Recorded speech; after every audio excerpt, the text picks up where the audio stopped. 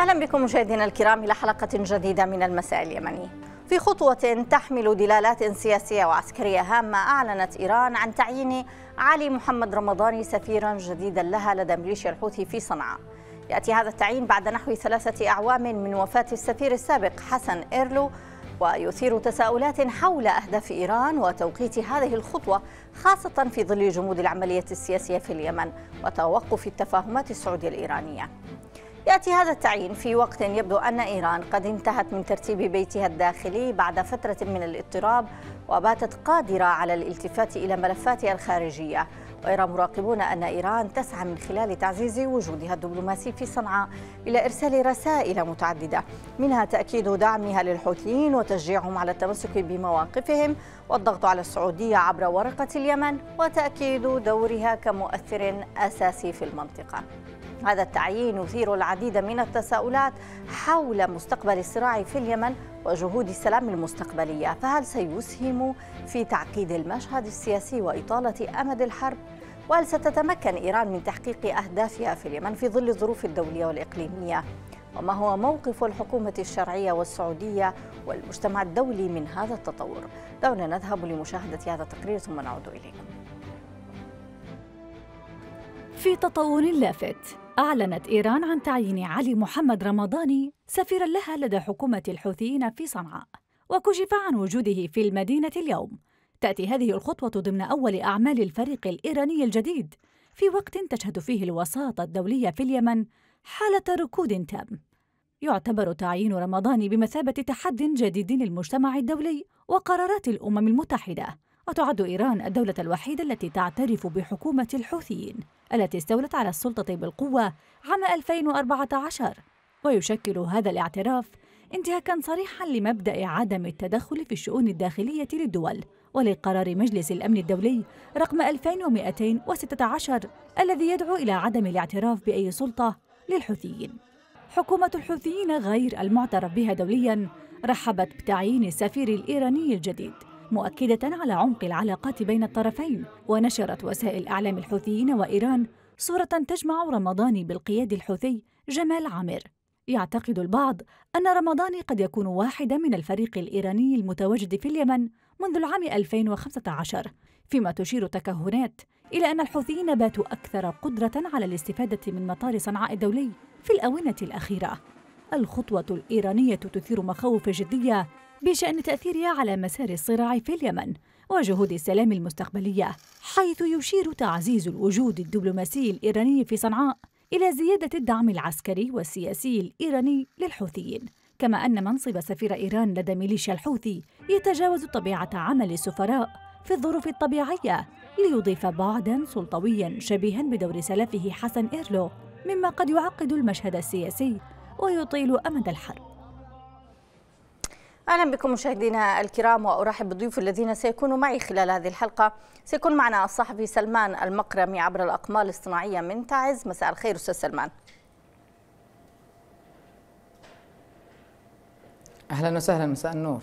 أهلا بك. وأيضا سيكون معنا الأستاذ وجدان عبد الرحمن الباحث المختص في الشأن الإيراني عبر سكايب. مساء الخير أستاذ وجدان. مساء النور أهلا وسهلا. أهلا بك. وستنضم معنا لاحقا الأستاذة امل عالم الباحثة في الشأن الإيراني عبر الهاتف. أهلا بكم جميعا. أبدأ من عندك سلمان سفير إيراني جديد يتم الإعلان عنه لدى ميليشيا الحوثي. ما مهمته برأيك؟ السفير الإيراني وصل إلى اليمن ليقول نحن انتصرنا. خلال السنوات الحرب الماضية يعني كانت أهداف إيران هي إثبات وجود آه، يعني الحفاظ على ميليشيا الحوثي على بقائها. الآن لديها أهداف جديدة. نحن انتصرنا في هذه الحرب. والآن بدأت مرحلة الاستحقاقات مرحلة استحقاقات النصر وتداعياته. الآن إيران تؤسس لدولتها في في شمالي اليمن تؤسس لوجودها السياسي بعد أن تؤسسته العسكري آه، العسكري والاجتماعي والثقافي والاقتصادي. الآن تؤسس لمرحلة الاعتراف السياسي تؤسس يعني تقول إيران صنعاء ملكي يعني صنعاء وشمالي اليمن ملكي. وأنا الآن أتصرف كما يريد. هذا مرحلة الاستحقاق مرحلة ثمار النصر التي انتصرت خلالها إيران خلال العقود الماضية وخاصة الحرب الأخيرة. الإيرانيون يقولون الآن بملء الفم يعني هذه هذه الأرض لنا وتابعة لنا وقد قالوها بأشكال متعددة من قبل والآن يؤسسون هذا يبنون على هذا الانتصارات على أرض الواقع على المستوى السياسي. يتحدى ربما تجر هذه الخطوة إلى إلى اعترافات مماثلة لا أحد يعرف يعني ربما قد قد يكون هذا الشيء قد يكون هذا الوجود ربما طبقا للاتفاق السعودي الإيراني برعايه صينيه وربما يخالفه وربما يخالفه ولكن الأرجح أن أن هذا الوجود آه، يعني لا من غير معارضة إقليمية من غير معارضة حتى محلية إيران تجني انتصارها ولا أحد يستطيع أن يقول لها الآن في ظل الأوضاع الحالية محليا وإقليميا. نعم. إذا بالذهاب إليك أستاذ وجدان بحسب توقعاتك كيف دخل السفير الإيراني الجديد إلى اليمن؟ تحياتي لك وضيفك الكريم ومتابعيكم الكرام. أعتقد بعد أستاذ وجدان هناك خلل في الصوت من عند حضرتك. آه، إن شاء الله بيحاولوا الشباب يتواصلوا معك من جديد أو إعادة الاتصال. لن تمكن من سماعك لا أستطيع سماعك هناك ذبذبة في الصوت. أعود إليك آه، سلمان. آه، يعني هذا الإعلان إعلان تعيين السفير الجديد. أتى كما نعلم بعد وفاة أو بعد ثلاث سنوات من وفاة السفير الإيراني السابق أو ادعاء هذه الصفة حسن إيرلو. ما دلالة الإعلان في هذا التوقيت برأيك؟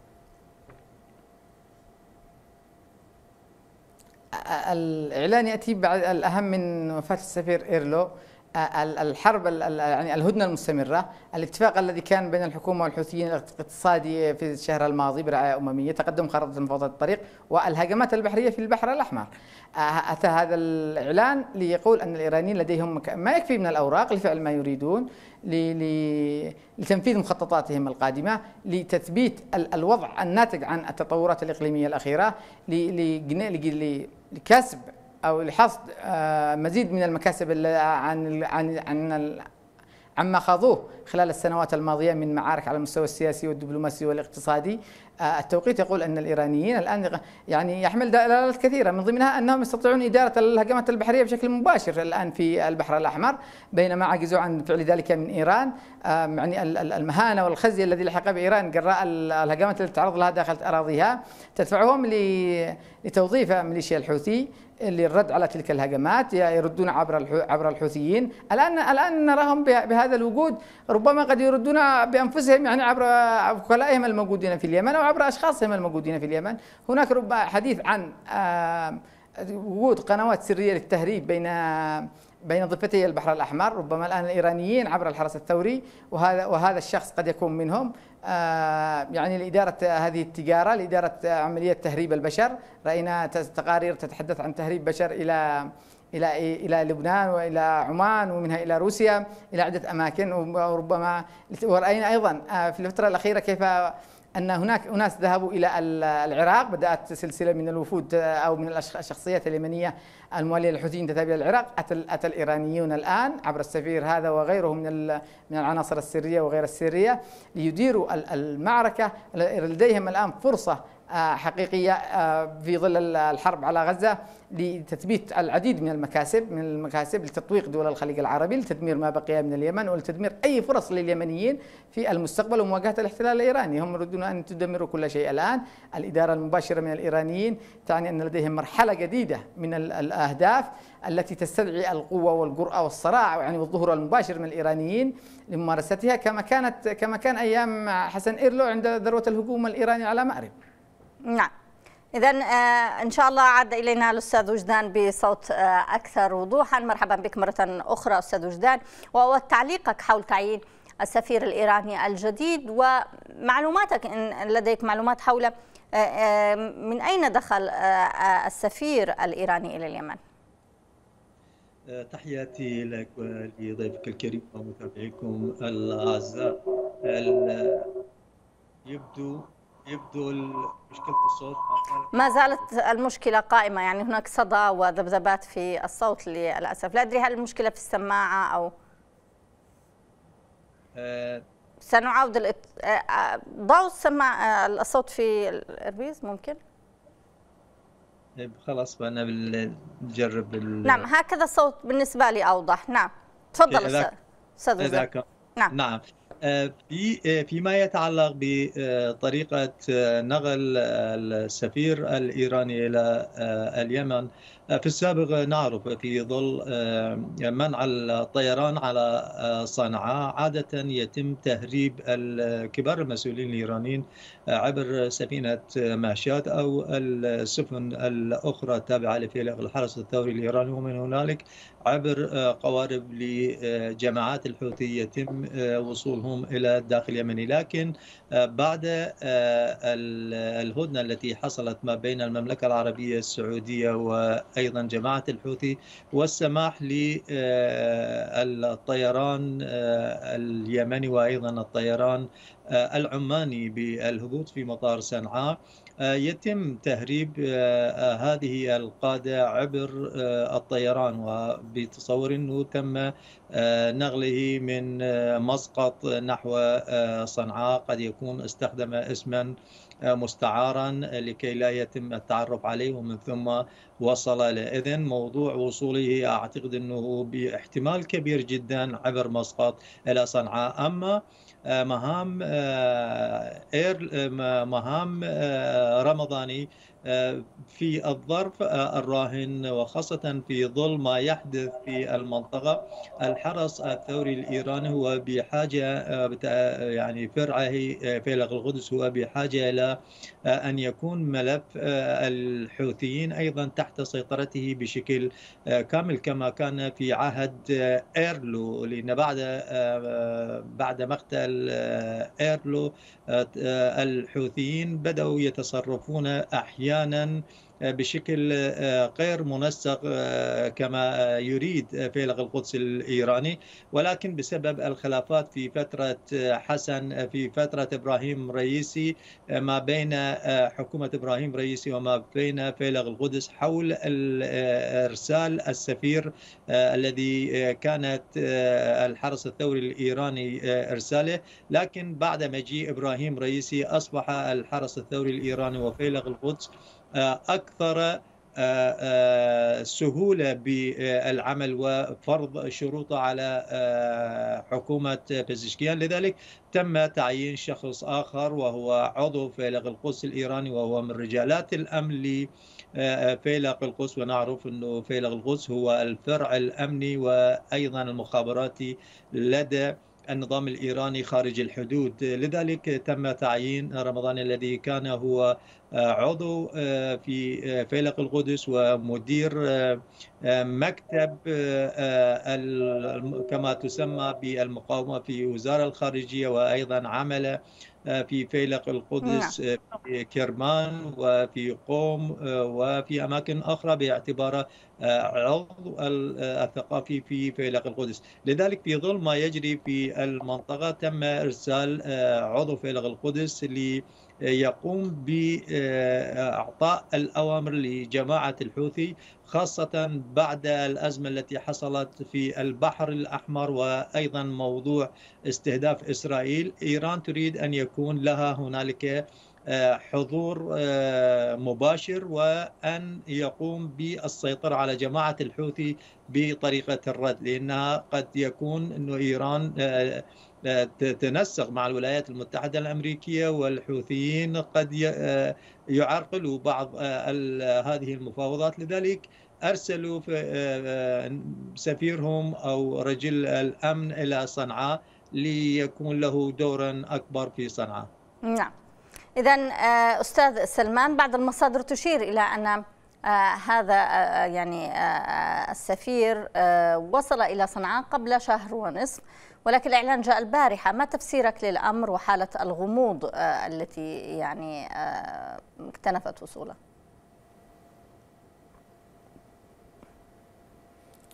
الإيرانيون بشكل عام لدي لديهم أدواتهم يعني في الغم يعني يعني الإيرانيون حينما أرسلوا هذا السفير في هذا التوقيت بعد جاء بعد تشكيل الحكومة الحوثية التي هي حكومة التغيير والبناء أو التي تسعى حاليا.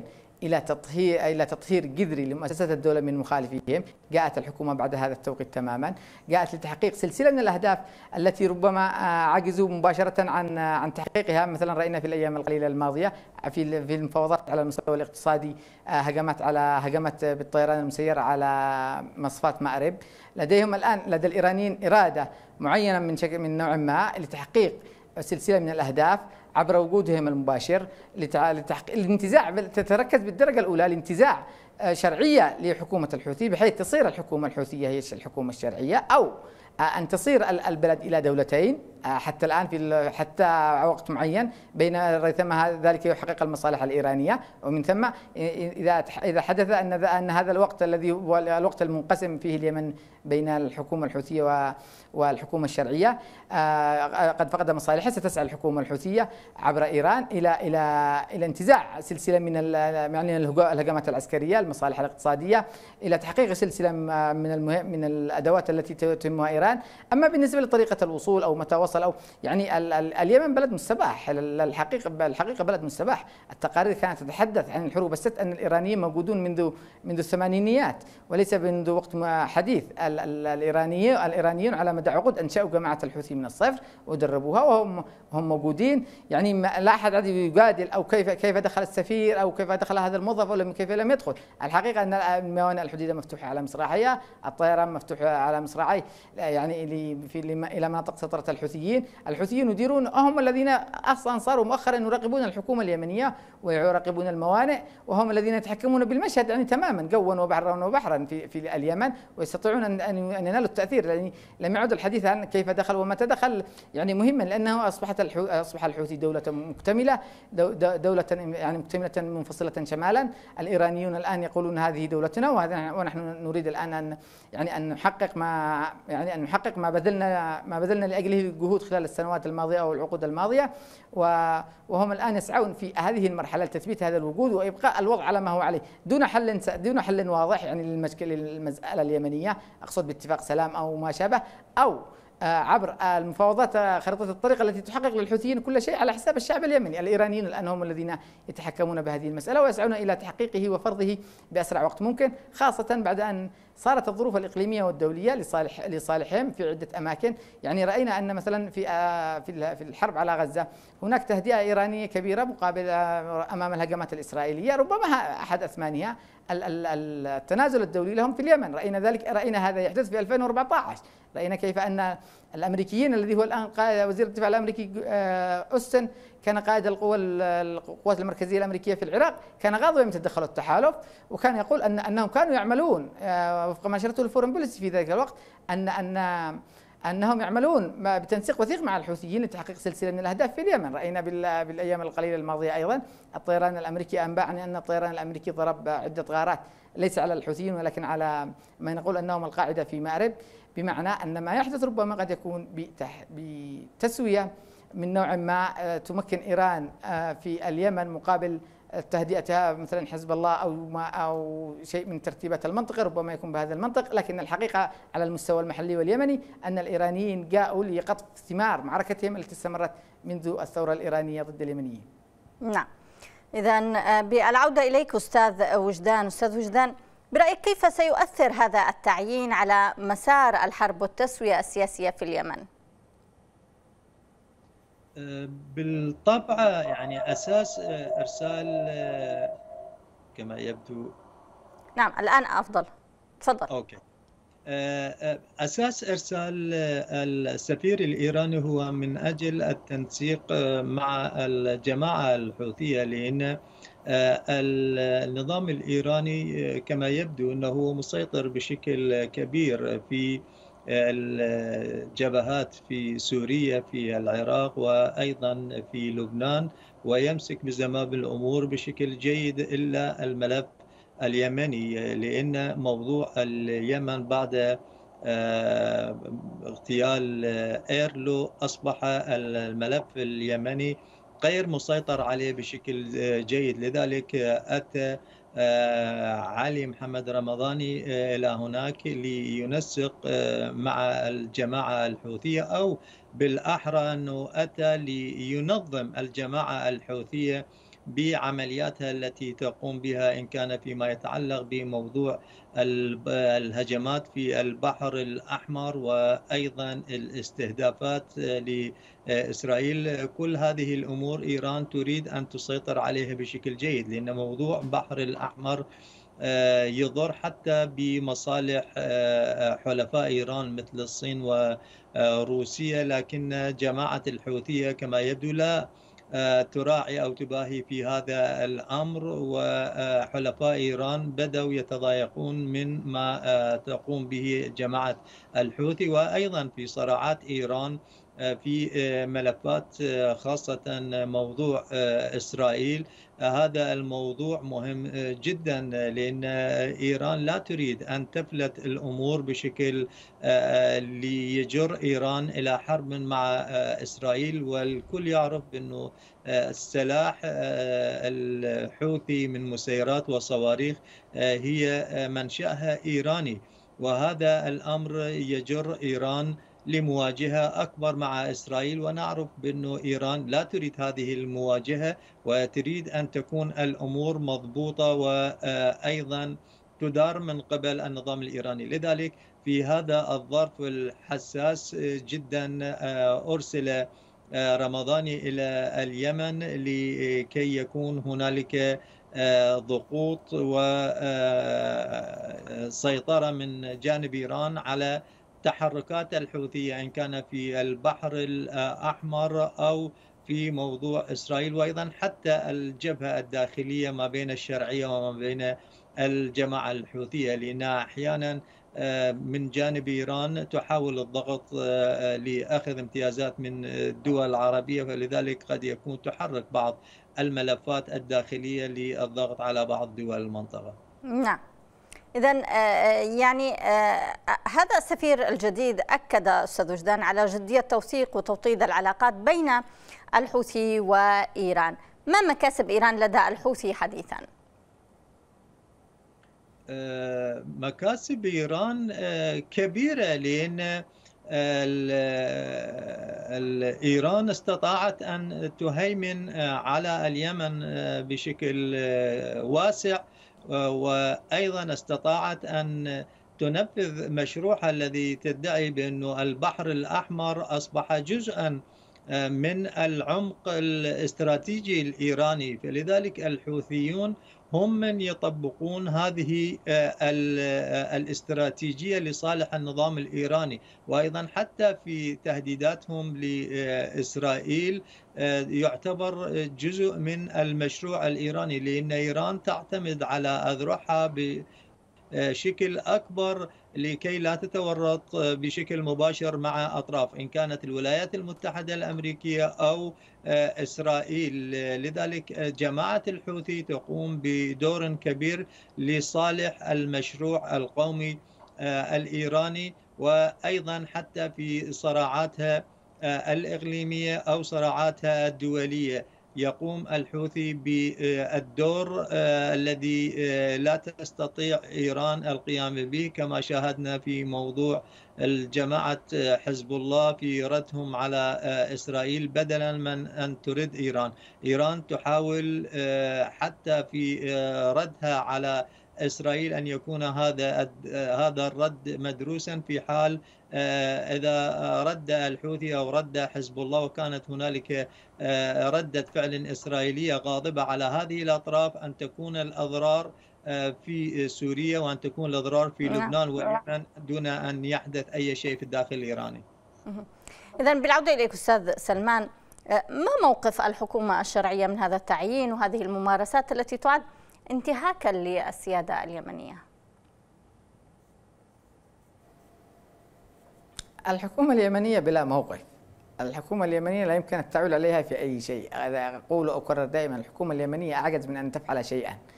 يعني ليس هناك شيء يمكن أن تقوله حتى ربما أنها لم تعلم حتى الآن بوصول السفير الإيراني. يعني لم نرى أي موقف حتى الآن. يعني وكالة سبا الحوثيه لم تفعل أي شيء. يعني جالس منذ الأمس يروجون لوصول العليمي إلى تعز وكانها وكأنه فتح صنعاء واستكمل واستكملت هزيمة الحوثيين وكأن زيارته إلى صنعاء هي زيارته إلى تعز هي أعظم ما يمكن للحكومة اليمنية أن تفعلها. الحكومة لا تعرف أي شيء ولم تبدي حتى الآن موقف ربما غدا أو بعد غد يكون لديها موقف وأنها تناشد المجتمع الدولي. لا تفعل شيء الحكومة اليمنية وليس لديها علم بما يجري في الطيران بما يجري في الأبواب. لا لا تستطيع أن تفعل الحكومة أي شيء ولن تفعل أي شيء أصلا. يعني الحكومة مكبلة وهي حكومة عائلاتها وحكومة غير مهتمة بالشعب اليمني ولا علاقة لها بالشعب اليمني وهذا هو المؤسف أن تكون الحكومة اليمنية التي يفترض أنها تقود المواجهة ضد الحوثيين والاحتلال الإيراني. لا تفعل أي شيء وليس لها علاقة بأي شيء بأي شيء يخص الشعب اليمني وبمستقبله وبمصيره. فقط هي أن تأخذ الأموال والمرتبات وتأخذ مصاريف قياداتها وانتهى الأمر. يعني هذا دور الحكومة اليمنية. الدور يقع على على المقاومة اليمنية. الدور الموقف الحقيقي سيكون من المقاومة اليمنية من الشعب اليمني بتشكيلاته المختلفة بفئاته المختلفة من القوى من القوى التي قاتلت على مدى عقود ضد إيران. هي التي سيكون لديها موقف وهي التي تعمل هي التي وقفت أمام حسن إيرلو وهي التي ستقف أيضا أمام رمضاني أو غيره وأمام جحافل الحرس الثوري الإيراني والفرس. نعم.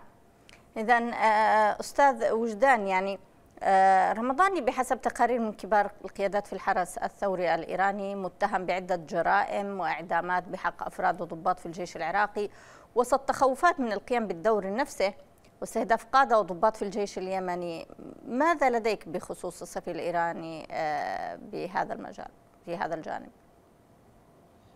اولا الجماعات الذي الذين يعملون في فيلق الحرس فيلق القدس الإيراني هي جماعات أمنية وبالتأكيد هم يقومون بجرائم في حق الأسرى العراقيين أو الجيش العراقي وحتى في ما يتعلق من الجماعات في داخل الحرس الثوري الإيراني نفسه الذين لا يعني لدي يعترضون في أحيانا بعض الأحيان وهؤلاء الرجال لا يعرفون الرحمة والشفقة اطلاقا لذلك ليس ببعيد أن يقوموا بالجرائم ليس فقط على صعيد الشرعية وإنما حتى في جماعة الحوثي. نعرف بانه هنالك لدى فيلق القدس هنالك مجموعة لفيلق القدس من الجماعة الحوثي. هنالك فرع فيلق القدس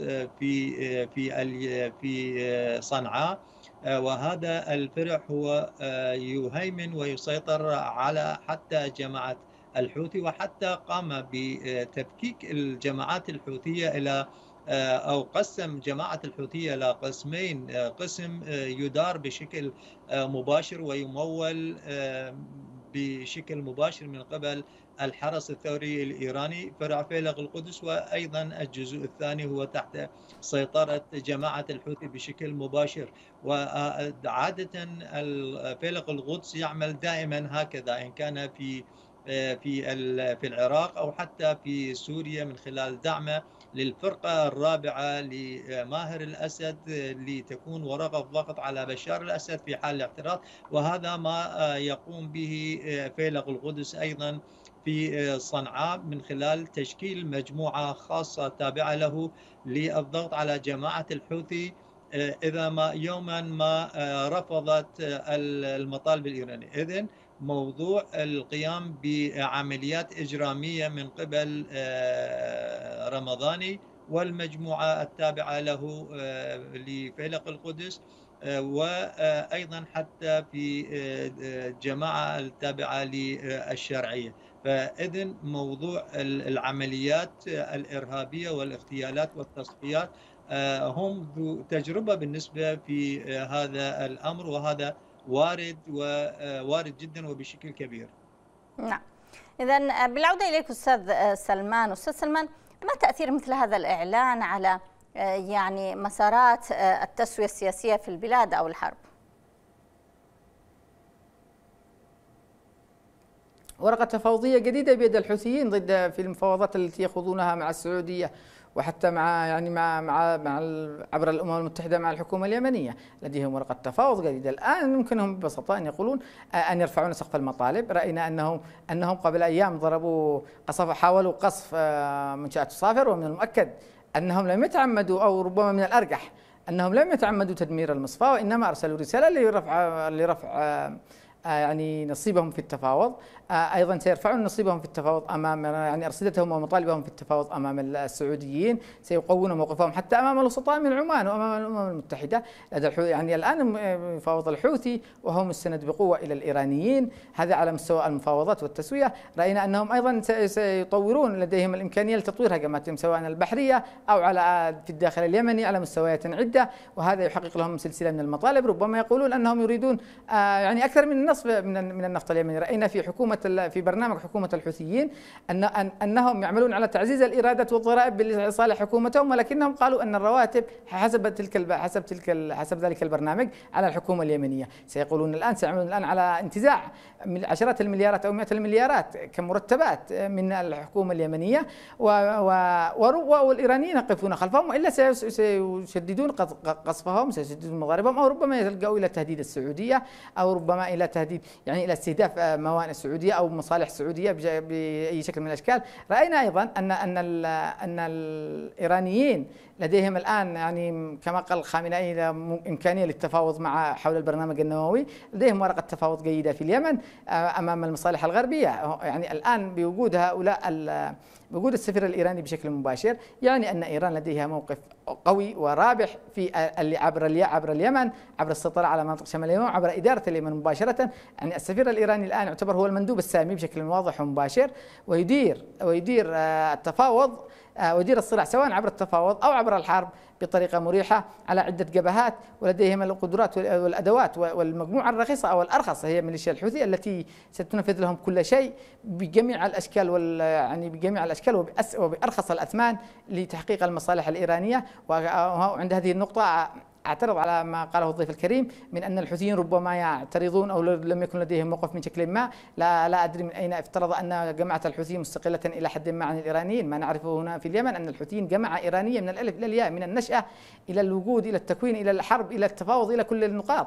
عبد الملك الحوثي دائما يقول نحن ننسق بشكل وثيق ونحن نفعل كل شيء. صحيفة الأخبار اللبنانية تتحدث اليوم عن أن الحوثيين قد يردون على الهجمات الإسرائيلية ضد إيران وضد حزب الله وضد الحوثيين بشكل مشترك يعني قد قد يتكفلون وحدهم بالرد على تلك الهجمات عبر الأراضي عبر عبر الحوثيين. راينا عبد الملك الحوثي أيضا يتحدث عن أنه يخطط مع المحور للرد وكان يردد كل ما يقوله حسن نصر الله وما يقوله الإيرانيون على أن هناك تأخير وأن التأخير جزء من التكتيك وأنه خطة وأن يعني الآن الايراني الإيرانيين بوجودهم في اليمن المباشر والعلني حققوا عدة مكاسب أمام أمام خصومهم الأمريكيين أمام خصومهم الغربيين أمام خصومهم من السعوديين والأهم أمام خصومهم اليمنيين.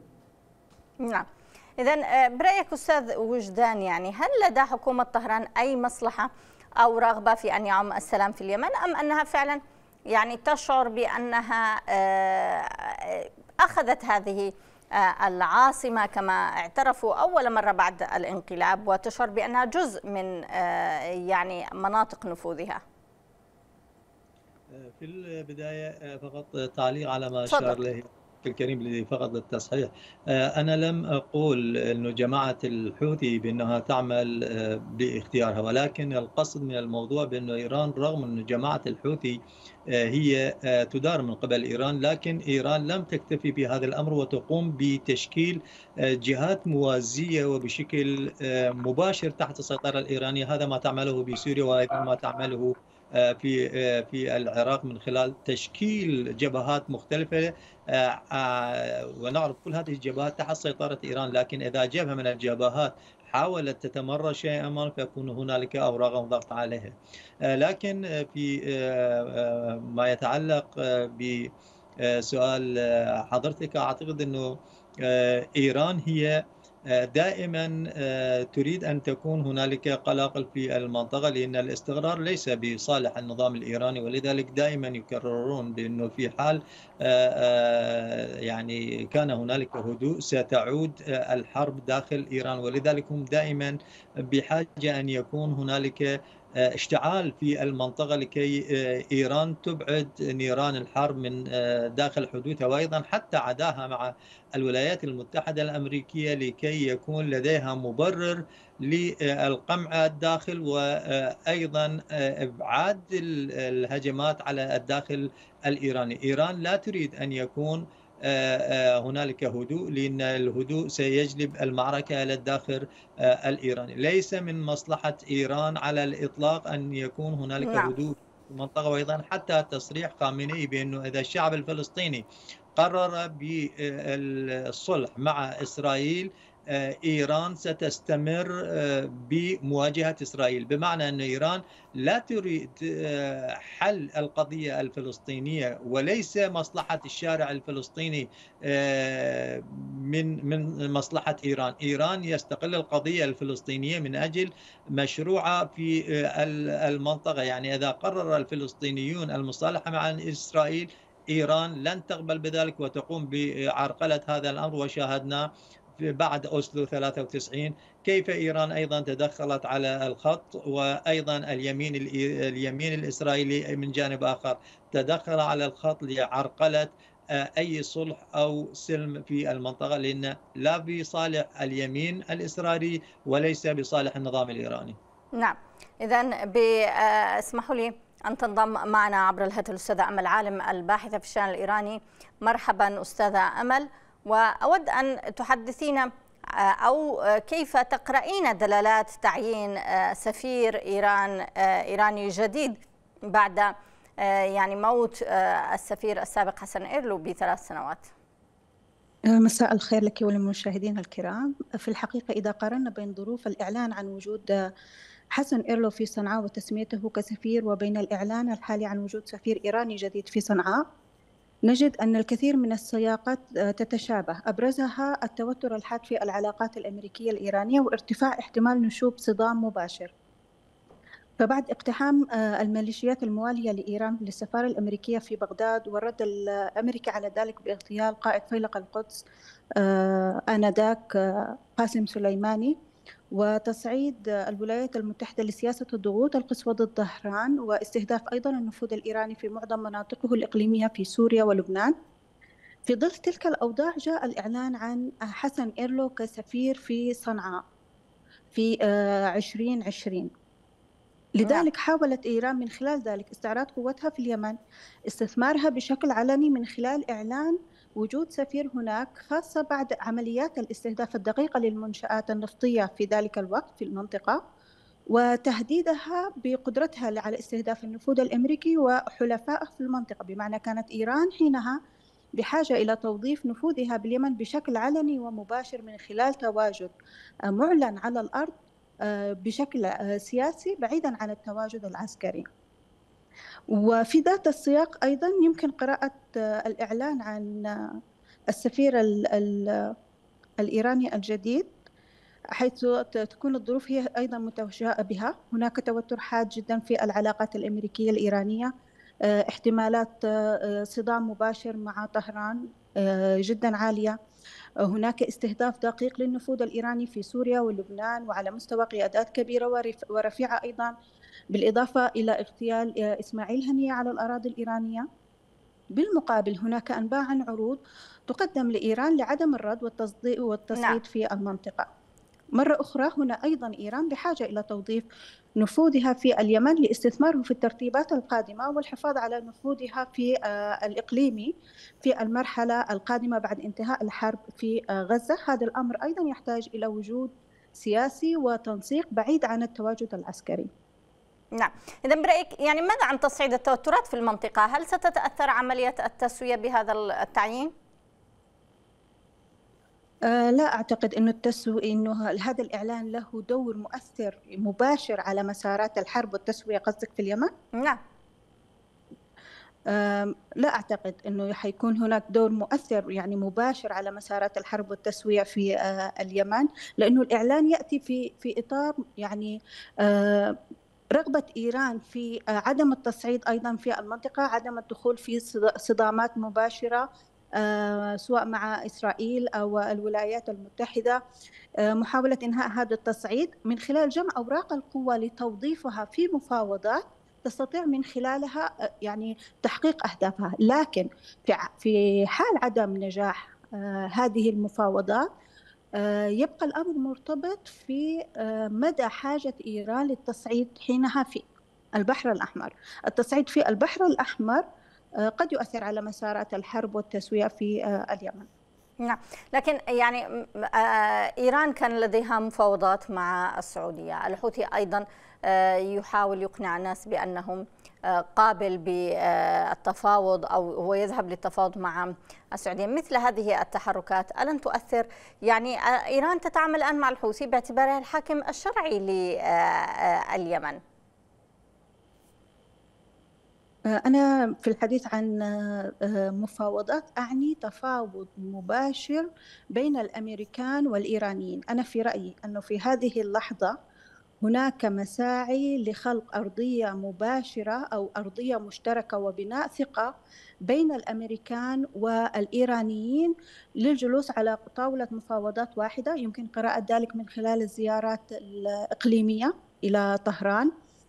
آه، طهران أنا في رأيي آه، منفتحة هذه المرة على مفاوضات لكن هي بحاجة إلى ترتيبات لإعادة بناء الثقة. هناك الكثير من المساعي الإقليمية لبناء ذلك. يعني لذلك آه، يعني تم أنا في رأيي أنه تعيين المفاوضات سواء السعودية الحوثية أو أي مفاوضات إقليمية هي في النهاية حتى وإن أثمرت عن نتائج تقف أمام الرغبة الأمريكية. هل هناك رغبة أمريكية حقيقية في آه، إيجاد تسوية ومسارات آه، سلام في اليمن؟ لذلك هناك حاجة حقيقية لتفاهم أمريكي إيراني آه، نعم. يعني يؤثر على المف... يعني يؤثر على نتائج أي مفاوضات إقليمية مع الحوثيين. نعم إذا ما هي مكاسب طهران برأيك من تنامي قوة الحوثيين في المنطقة وتعزيز مكانتهم سواء على الصعيد المحلي أو الإقليمي؟ آه، مكاسب إيران هي كثيرة تكاد إيران تكون هي الرابحة الأكبر يعني في آه، السياق الإقليمي. آه، إيران اليوم يعني أثبتت قدرتها فعلا على إيجاد تهديد حقيقي يهدد أمن المنطقة ويؤثر على النفوذ الأمريكي في المنطقة وحلفاء الأمريكان في آه، المنطقة. آه، ويعني كسبت آه، صنعاء كساحة نفوذ جديدة أيضا قادرة على إحداث تهديد في المنطقة. إيران اليوم هي إن دخلت في مفاوضات هي تدخل بسقف توقعات مرتفعة لأن لديها يعني ما يمكنها من فرض مطالبها يعني بسطح عالي. نعم. إذا آه، يعني آه، برأيك كيف ستكون المستجدات بوجود هذا السفير الإيراني؟ خاصة يعني ولديه ملف آه، مثقل بالجرائم والإعدامات في الجيش العراقي. يعني على الصعيد العملي في الداخل اليمني في مناطق سيطرة الحوثيين. ربما سيلعب دور في يعني التحديثات الجارية حاليا في الحكومة الجديدة التابعة للحوثيين. تنسيق لمرحلة لمرحلة النفوذ الإيراني في اليمن ما بعد انتهاء الحرب في غزة وشكل المنطقة القادم. هو بحاجة إلى يعني تواجد إيراني بتنسيق عالي. ربما يلعب هذا الدور هذا السفير بهذه الخبرة التي آه، يمتلكها نعم إذا شكرا جزيلا لك أمل عالم الباحثة في الشارع الإيراني. كنت معنا عبر الهاتف. الشكر الجزيل لك أستاذ وجدان عبد الرحمن الباحث المختص في الشارع الإيراني. كنت معنا عبر سكايب. والشكر الجزيل لك أيضا أستاذ سلمان المقرمي الصحفي. كنت معنا عبر الأقمار الاصطناعية من تعز وهو كذلك لكم مشاهدينا الكرام لحسن متابعتكم لأن ألتقيكم في مساء يمني جديد. كونوا برعاية الله وأمنه.